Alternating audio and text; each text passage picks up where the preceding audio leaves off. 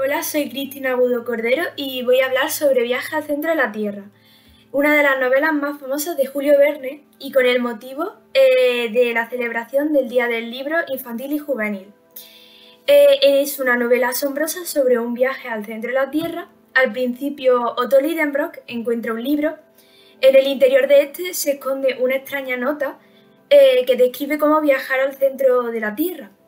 enseña las instrucciones Así es como comienza esta aventura.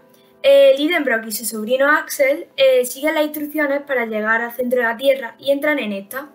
Eh, creo que es una novela increíble, nunca te aburrirá leyéndola mientras la lees y su lenguaje es envolvente.